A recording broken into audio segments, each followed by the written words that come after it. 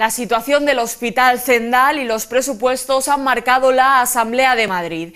Isabel Díaz Ayuso ha defendido que gracias a ese hospital la sanidad, dice, no está colapsada y el socialista Ángel Gabilondo ha reprochado a la presidenta que lleve dos años prorrogando los presupuestos generales.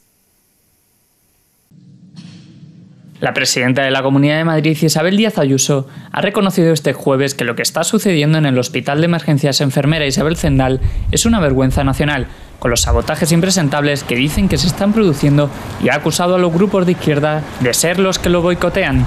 Mire, lo que está ocurriendo con el, Hospital Enfermera Isabel Zendal es una vergüenza nacional que lo está viendo absolutamente todo el mundo. Porque si no fuera por ese hospital, estaría la sanidad bloqueada, que es lo que a ustedes les gustaría. Es impresentable lo que están haciendo. ¿Y sabe lo que pasa? Que con estos sabotajes que están sucediéndose, si la policía encuentra al final quién está detrás, todavía usted dirá que es un montaje. Mientras la portavoz de Vox en la Asamblea de Madrid, Rocío Monasterio, le ha pedido a Isabel Díaz Ayuso que supere las críticas de los socialistas que tienen Génova y amplíe el horario de la hostelería.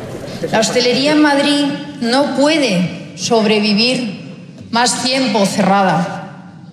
La hostelería en Madrid le, pedimos el esfuerzo de reducir un 50% el aforo y ahora le estamos exigiendo un 50% de tiempo. Por su parte, el portavoz del PSOE en la Asamblea de Madrid, Ángel Gabilondo, ha afeado a la presidenta de la comunidad que lleve dos años prorrogando los presupuestos regionales porque no han hecho sus deberes. No se conocen ni líneas generales, ni estrategias, ni un folio indicativo. Al menos nosotros no lo hemos visto.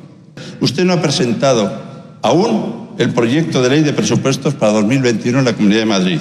Y esta comunidad es de las pocas que no han hecho sus deberes. Y en este sentido, Ayuso ha urgido a Vox a que dé su apoyo al acuerdo entre PP y Ciudadanos de los presupuestos generales para 2021 para que lleguen antes las ayudas a los ciudadanos.